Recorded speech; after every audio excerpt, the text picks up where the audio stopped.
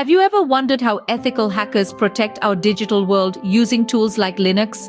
Well, fasten your seatbelts, because we're about to embark on a thrilling journey into the world of ethical hacking and Linux. Ethical hacking, often termed as white hat hacking, is the practice of using hacking techniques to identify vulnerabilities in a system. Unlike hackers who break into systems for malicious reasons, ethical hackers use their skills to strengthen security and protect data. Now let's talk about Linux. Linux, an open source operating system, is a favorite among ethical hackers. But why? Because it offers a wide range of powerful tools and its open source nature allows customization to fit specific needs. There are several Linux distributions tailored for ethical hacking, including Kali Linux, Parrot OS, and BlackArch OS. Each of these distributions comes with a plethora of tools that make the life of an ethical hacker easier. Stay tuned as we delve deeper into the syllabus of ethical hacking and the role of Linux in it. Ever asked yourself, what does it take to become an ethical hacker? Well, it all starts with understanding the basics. The first part of the ethical hacking syllabus is all about this. It's like the foundation of a building. Without it, everything else falls apart. So let's dive into it. First, we have the introduction to ethical hacking. This is where you get familiar with the terms, concepts, and the overall landscape of the cyber world. It's about understanding what ethical hacking is and what it is not. It's about knowing that ethical hacking is done to find vulnerabilities that can be fixed before they're exploited by malicious hackers. Next, we have footprinting and reconnaissance. This is the initial phase of ethical hacking, where you gather as much information as possible about the target. It's like a detective investigating a case. The more information you have, the better you can plan your approach. This can involve anything from understanding the target's website structure to identifying their network resources. Then we move on to scanning networks. This is where things start to get a bit more technical. You use various tools and techniques to scan the target's network to identify live hosts, ports, and services. It's like scanning a battlefield before an attack. You need to know where your enemy is, what weapons they have, and how they can defend themselves. Lastly, we have enumeration. This is the process of extracting more detailed information about the target's network. This can include details about network shares, user accounts, and even security policies. It's like getting a closer look at the enemy's camp. The more details you have, the better you can exploit the vulnerabilities. So, there you have it.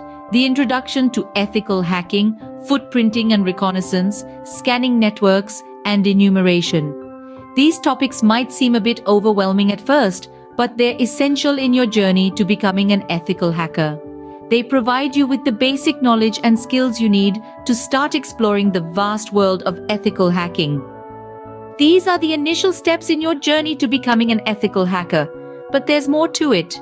Ready to dig deeper into the world of ethical hacking? Great! Let's delve into the second part of our ethical hacking syllabus. First up, we have system hacking. Now, don't be alarmed by the term. In the context of ethical hacking, system hacking is about understanding the loopholes in a system and finding ways to strengthen those weak points. It's like being a security guard, but for digital spaces. Speaking of security, let's talk about malware threats.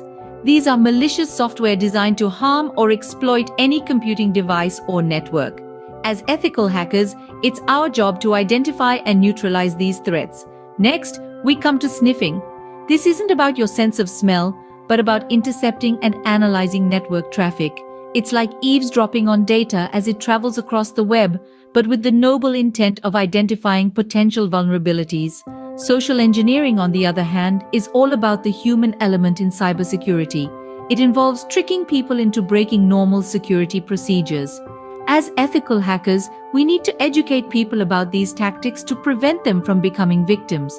Now, let's talk about denial of service or DOS. It's a type of attack that overwhelms a system with traffic, rendering it unusable. Imagine a crowd of people trying to enter a room all at once. It's chaotic, right? That's what a DOS attack looks like in the digital world. Lastly, we have session hijacking. This involves taking control of a user's session to gain unauthorized access to their information or services. It's like stealing someone's concert ticket and using it to enjoy the show. But as ethical hackers, we're the bouncers who catch these culprits. So there you have it. System hacking, malware threats, sniffing, social engineering, denial of service, and session hijacking. These topics may seem daunting, but remember, as ethical hackers, we use these techniques to protect, not harm. With these skills in your arsenal, you're well on your way to becoming an ethical hacker. Now, how does Linux come into the picture in ethical hacking? Well, Linux holds a pivotal role in the realm of ethical hacking. It's renowned for its security and stability, qualities that make it a preferred choice for ethical hackers worldwide.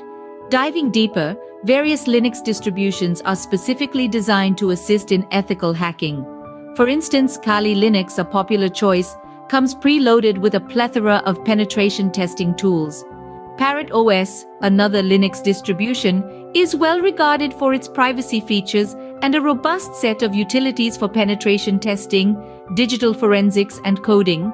Black Arch OS and Anonymous OS are other notable mentions, each offering unique tools and features tailored for ethical hacking. In essence, these Linux distributions provide a ready arsenal for ethical hackers, making their tasks more efficient and effective. Therefore, for anyone aspiring to tread the path of ethical hacking, mastering Linux is not just beneficial, it's essential. Indeed, Linux is an invaluable tool in the ethical hacker's toolkit. So, are you ready to embark on your journey to becoming an ethical hacker?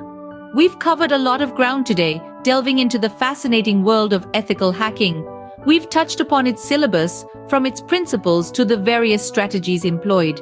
We've also explored how Linux, with its multitude of specialized distributions like Kali Linux, Parrot OS, Black Arch OS, and Anonymous OS, forms an integral part of this field.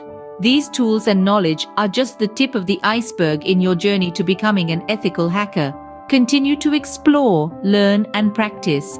The more you understand, the better equipped you'll be to navigate the digital landscape and confront its challenges head on.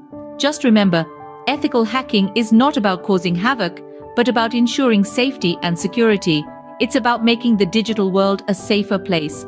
Remember, with great power comes great responsibility. Use your ethical hacking skills to make the digital world a safer place.